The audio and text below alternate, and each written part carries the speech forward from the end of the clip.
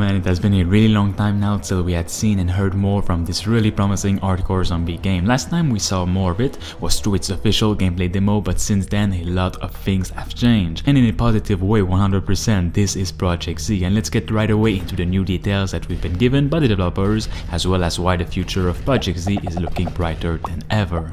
Now first of all thanks to all of you guys support throughout the month after the game's initial reveal.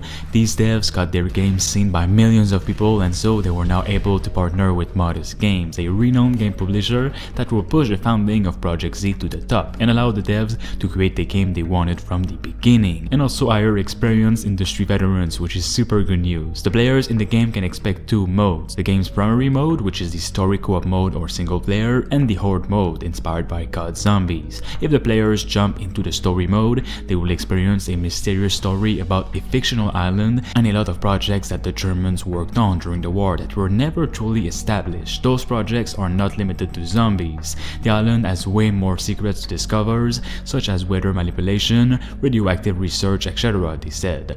All those projects left their own mark on the island and the people there and the players will feel that throughout the whole game. Besides the story, the player has to deal with all of his hideout tasks, such as building shops, recruiting NPCs, which he can find on the missions that he do, finding food, water, electricity items, and in general everything to not let his people die inside this hideout, because without them he cannot upgrade, build, or sell his items, since the player has to apply those NPCs to the shop to get to use them. The story mode offers so much more than this, they said to me, but if the devs would tell me everything, the video will be 30 minutes long, they said. However, they think with the game's design they have a great mix of Escape from Tarkov, Left 4 Dead, and Fallout Shelter mechanics. The Escape from Tarkov players can fully concentrate on doing free roam missions to find building materials, items, weapons, and other essential objects and upgrade them to be better equipped while experiencing the world's design. The Left 4 Dead players can fully experience the co-op story and play through an incredible and straightforward storyline,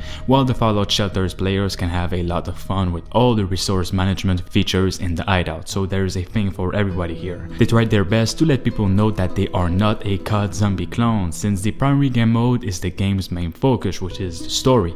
Therefore, the horde mode is just a tiny side game mode completely detached from the primary mode that the players can play just after a long game session. The first thing the devs felt after getting their publisher Modus Games was a better structure throughout the entire team since they now have a fully planned out game design, development timeline, and the money to develop the game full time without worrying too much about their financials. That also allowed them to hire incredibly talented people who worked on games like Let Loose, Killing Floor 2, and etc. They also heard several people expressing concern with the free-to-play model that could potentially lead to over monetization. They're saying they take their community's feedback very seriously and are really grateful for all of the input of the people in the comments. They are right now evaluating all monetization options and will make an announcement as soon as they decide what's best for the game.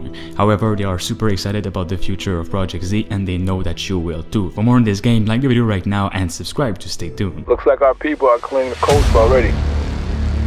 What the fuck are they shooting? Entire island.